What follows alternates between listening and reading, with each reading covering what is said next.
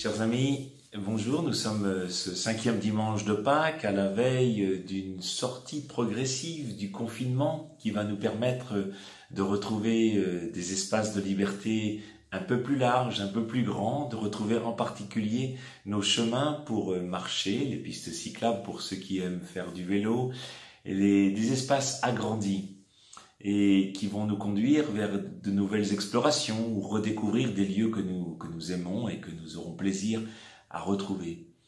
Euh, Jésus parle aussi de ces grands espaces dans l'évangile de ce jour puisqu'il parle des demeures de son Père et il dit aux disciples pour aller euh, là où je vais, vous connaissez le chemin. Alors bien sûr Thomas lui dit mais euh, comment saurions-nous aller là où tu vas? Nous ne savons pas le chemin. Et Jésus répond, moi Thomas, je suis le chemin, la vérité, la vie. Une parole qui doit nous habiter particulièrement ce dimanche, et puis aussi au moment où nous allons retrouver au sens propre nos chemins, quelques chemins euh, aimés et que nous connaissons. Lorsque Jésus dit je suis le chemin, c'est une euh, magnifique parabole parce que euh, c'est une parabole qui nous donne beaucoup de liberté. La carte est là, en quelque sorte.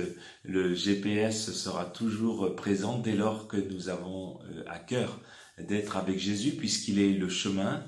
Vous savez, Jésus est un peu comme celui qu'il ne faut pas perdre de vue pour pouvoir rester sur la route. Il est le chemin, la vérité, la vie. Le chemin, la voie, c'est vraiment une thématique euh, commune à toutes les spiritualités, à toutes les religions.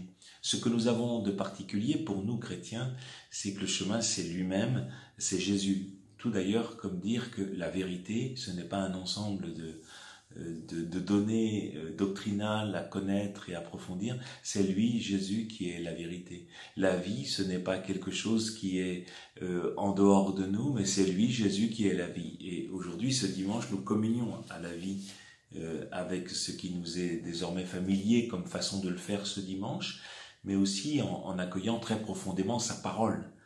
Alors lorsque Jésus nous dit ⁇ Moi je suis le chemin ⁇ peut-être pouvons-nous y penser cette semaine si nous avons plaisir à peut-être essayer de sortir et de prendre quelques chemins de randonnée, puisque ça fait longtemps que nous n'avons pas fait. Et nous allons suivre des itinéraires, nous aurons une carte, nous aurons peut-être l'attention portée sur les balises qui vont nous permettre de rester sur le chemin.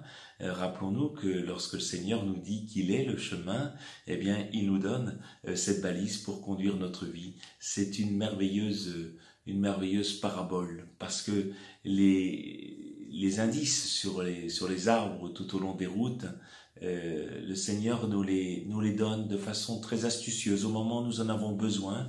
Il est le chemin, il est celui qui nous indique la voie. Et puis cette parabole du chemin peut aussi être très suggestive selon euh, là où nous en sommes de notre foi. Vous savez, quand on a trouvé le chemin pour aller quelque part, nous marchons chacun à notre rythme. Certains vont courir sur ce chemin, euh, d'autres vont prendre le temps de, de s'arrêter, peut-être de se reposer. Certains même font faire demi-tour. Mais tout le monde, tout le monde connaît le chemin et donc a possibilité de retrouver le chemin. Cette euh, parabole de Jésus par laquelle il se présente lui-même pour nous conduire jusqu'au Père nous donne étonnamment beaucoup de liberté, beaucoup de, de libre arbitre pour pouvoir euh, être avec lui et, pouvoir être conduit au terme de notre existence dans la béatitude euh, éternelle euh, auprès du Père dans la communion des saints.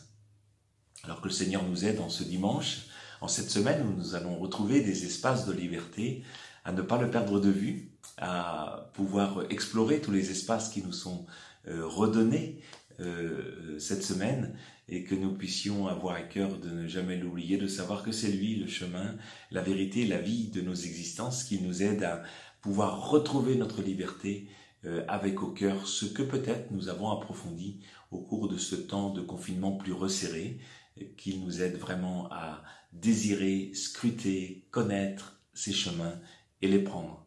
Bon dimanche à vous tous.